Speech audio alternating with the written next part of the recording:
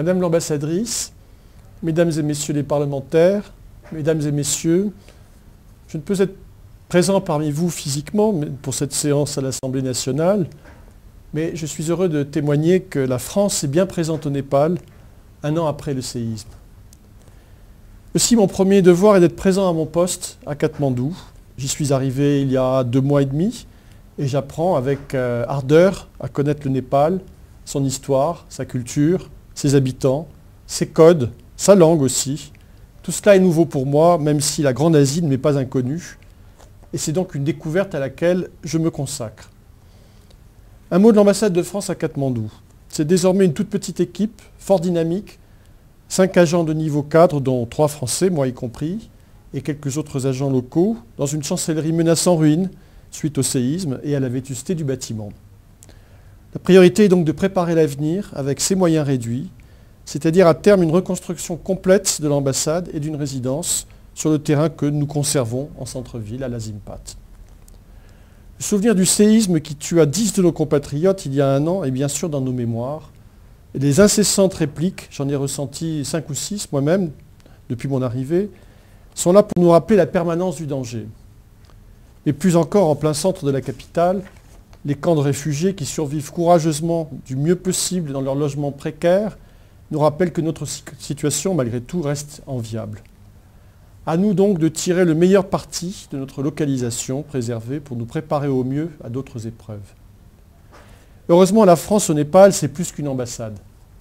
C'est aussi une alliance française qui, par coïncidence, doit elle aussi se relocaliser tout en poursuivant son activité d'enseignement de la langue et ses prestations culturelles diversifiées.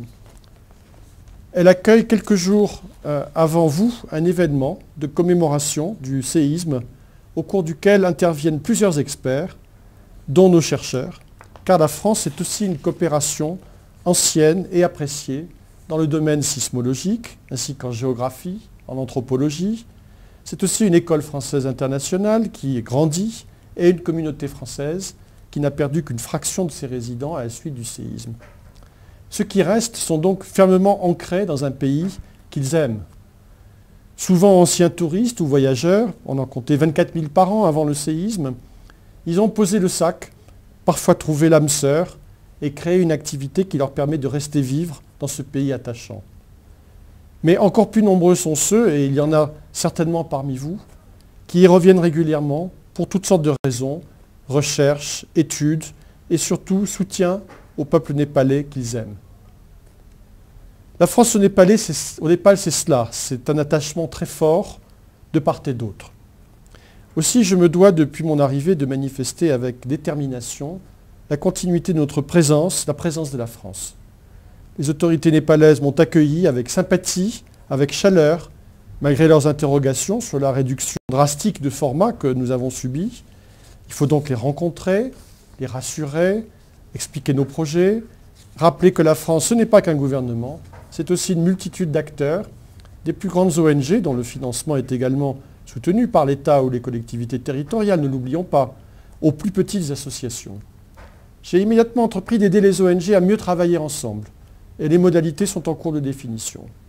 Je m'efforce aussi avec nos partenaires européens et autres de convaincre les autorités népalaises qu'il est de leur intérêt de laisser davantage des coups des franches aux ONG dans leur action irremplaçable en matière de santé, d'éducation, de reconstruction aussi bien sûr, et cela est en bonne voie.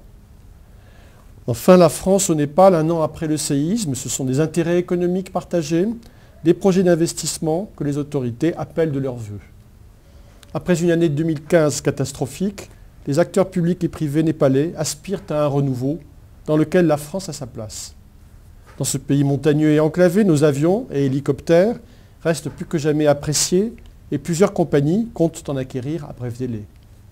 L'énergie reste un besoin insuffisamment satisfait. Il faut donc s'engager résolument dans la construction de centrales hydroélectriques.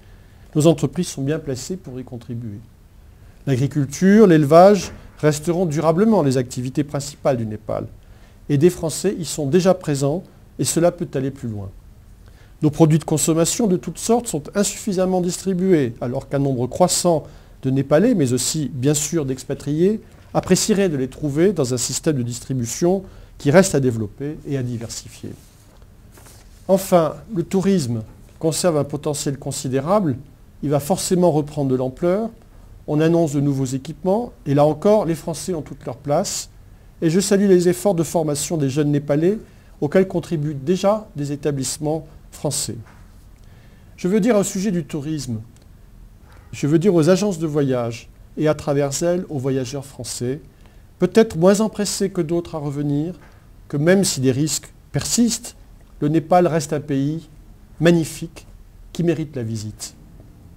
En souhaitant plein succès à cette conférence, je vous remercie de votre attention.